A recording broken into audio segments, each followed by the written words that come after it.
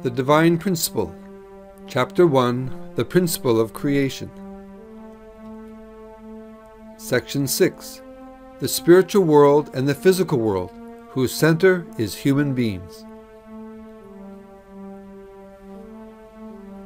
The universe was created after the pattern of a human being, who is the image of God's dual characteristics. Human beings possess an internal nature, mind, and an external form, body.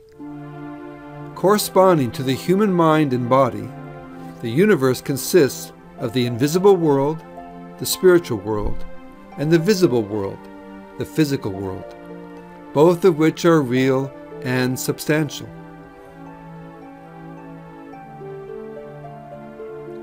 The invisible world is so called because we cannot perceive it through our five physical senses. The two worlds together form the cosmos. The spirit world is in the position of subject partner, and the physical world object partner. The latter is like a shadow of the former. When we shed our physical bodies, we enter the spirit world as spirits and live there for eternity.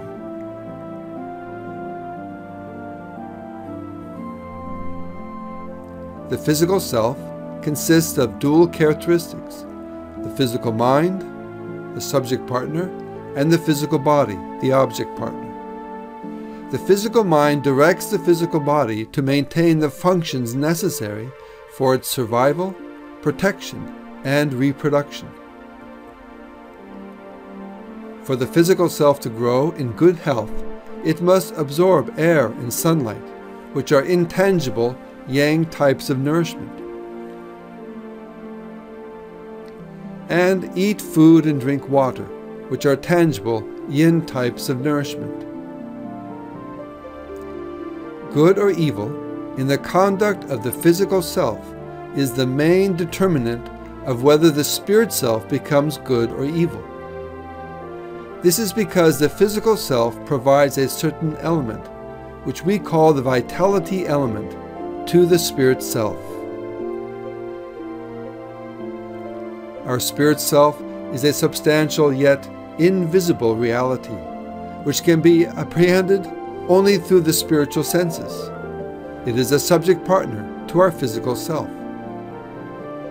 Our spirit can communicate directly with God and is meant to govern the spiritual world, including the angels. In appearance, our spirit self matches our physical self. After we shed the physical self, we enter the spirit world and live there for eternity. The reason we desire an eternal life is because our innermost self is the spirit self, which has an eternal nature. Our spirit self consists of the dual characteristics of the spirit mind, the subject partner, and the spirit body, the object partner. The spirit mind is the center of the spirit self, and it is where God dwells. The spirit grows through give and take action between two types of nourishment life elements from God, which are yang type, and the vitality elements from the physical self, which are yin type. The life elements come to the spirit man. This is God's love and God's truth. Then from the physical person comes the vitality elements, which are based upon good motivation and good actions. The spirit self also returns an element to the physical self, which we call the living spirit element.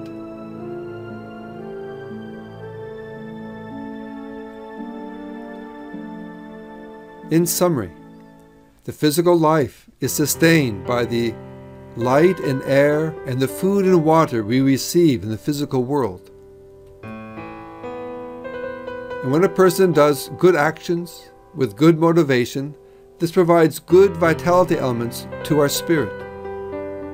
In addition, from God, our spirit receives life elements, God's love and truth. And when this takes place and the spirit is able to grow, the spirit gives living spirit elements back to the physical life. Therefore, vitality elements combined with God's spirit and truth, and giving the living spirit elements, we receive inspiration and good health in this life.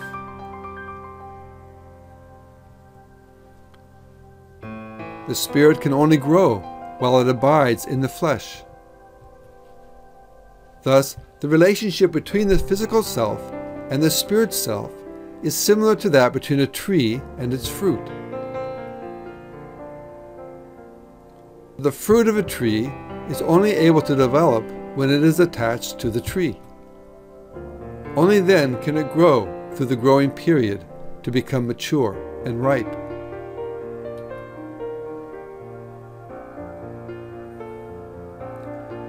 Likewise, the spirit self can attain perfection only during a person's earthly life.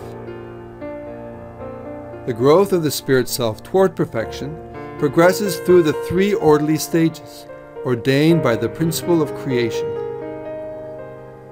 A spirit in the formation stage of life is called a form spirit.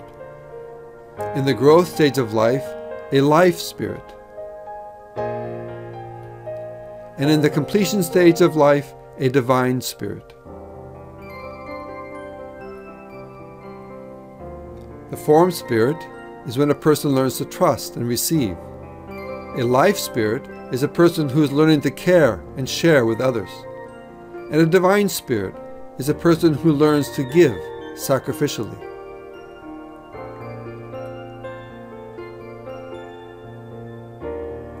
A person fully matures as a divine spirit when the spirit self and the physical self unite through perfect give and take action centered on God and form the four position foundation.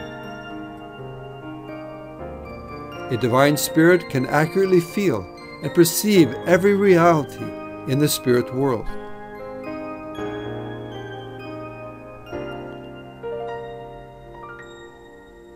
All the sensibilities of the spirit self are cultivated through the reciprocal relationship with the physical self during earthly life.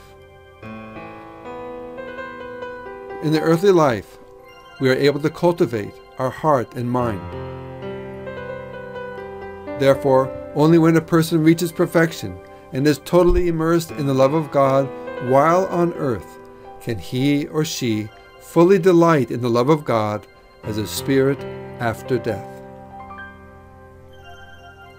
Sinful conduct aggravates evil and ugliness in the spirit of a fallen person, while the redemption of sins granted during earthly life opens the way for the spirit to become good. Matthew 16:19 Whatever you bind on earth will be bound in heaven.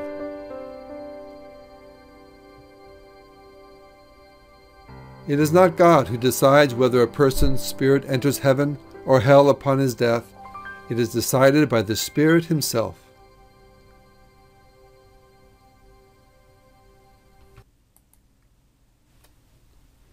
The content you have just watched is a brief introduction to an important topic the human spirit and life after death.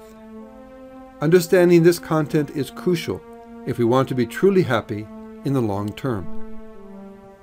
One way to look at our eternal spiritual life is as our third home. Our first home was in our mother's womb. During that period, we received nourishment and our organs were able to develop. That prepared us for our birth into our second home, this world in which we are now living.